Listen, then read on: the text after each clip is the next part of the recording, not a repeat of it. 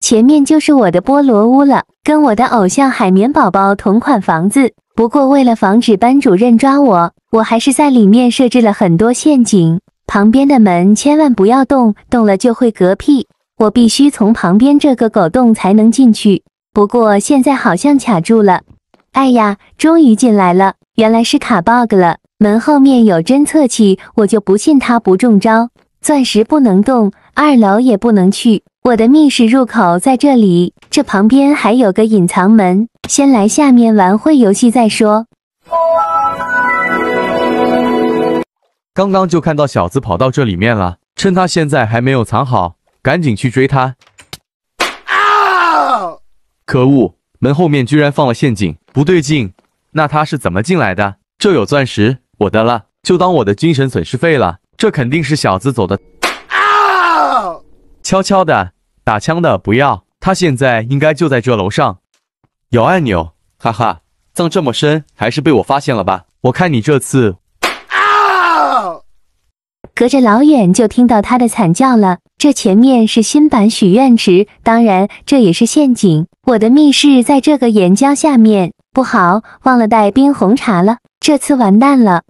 拼了，这次不喝冰红茶了，让我也尝尝这鸡汤的味道。还好我就设置了一格，不然就凉凉了。这旁边的门不要进去，我的密室还在下面。好了，先在这玩会游戏，等他。这怎么还有一个密室？岩浆，我记得我带了水桶，我这次可不会傻乎乎的下去了。把这岩浆收了，这下面好像什么也没有。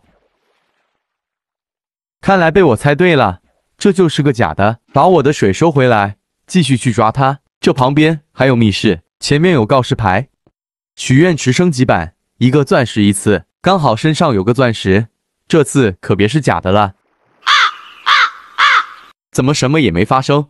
难道这许愿池没有升级好，出了故障？我不理解，谁能告诉？Hello，又被小子的许愿池坑了。这边还有岩浆，我手上有水，我会怕你？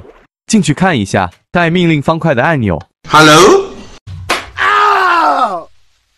班主任肯定被坑了，往这凋零下面扔个隐身药水。对面这个门不要进，也是陷阱。我来旁边继续玩会游戏。这下面怎么还可以打开？凋零还有箱子，我又不傻，我才不会下去。去这门后看一下。